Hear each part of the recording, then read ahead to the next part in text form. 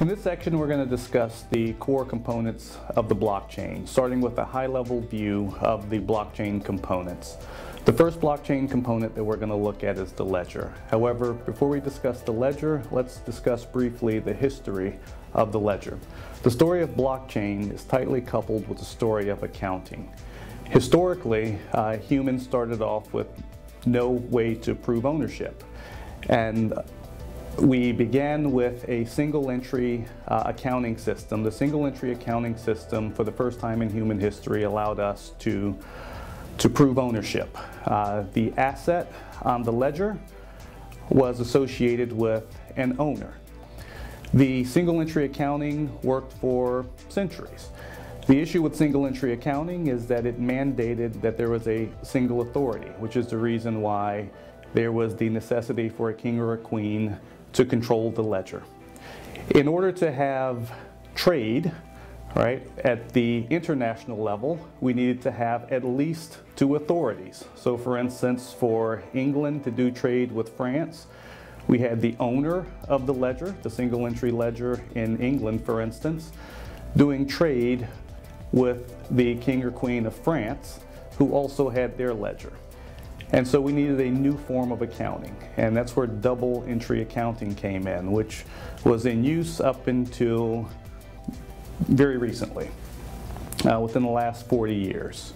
What blockchain is, blockchain is the very first implementation of triple entry accounting, where we have an asset being recorded on the ledger in the context of a transaction. The third entry in triple entry accounting is cryptography, where we have a cryptographic um, account of the transaction stored permanently and immutably on a ledger.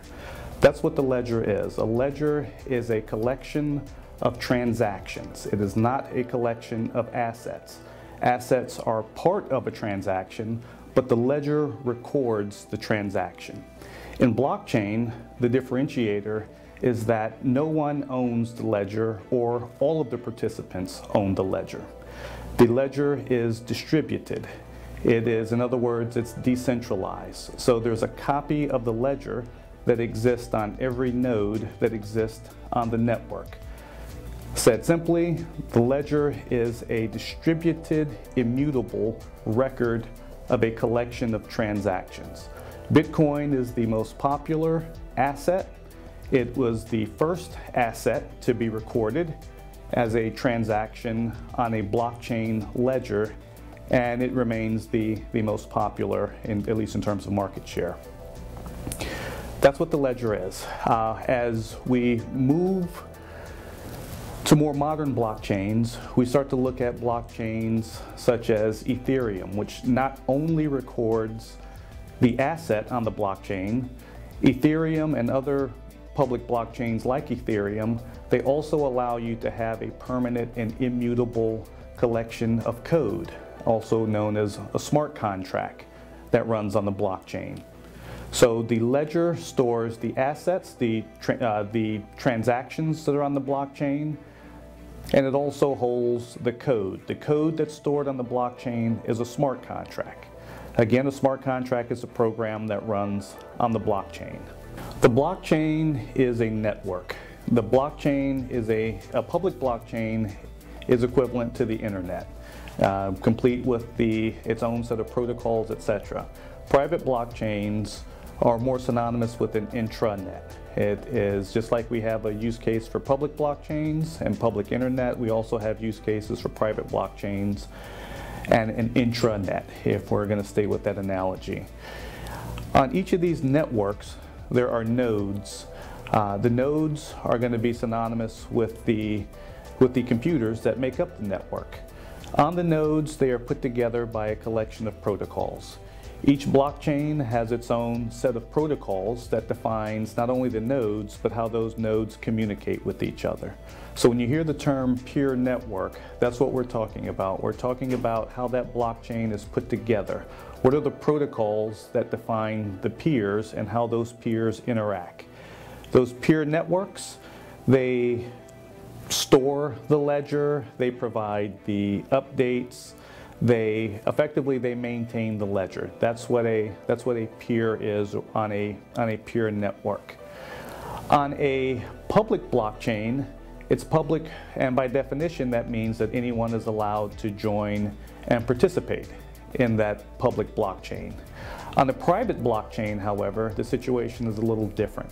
On a private blockchain, we have to control who can access your network.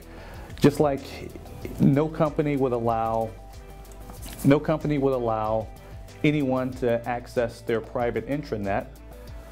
In a private blockchain, you have to be asked to join or you have to have permission to join.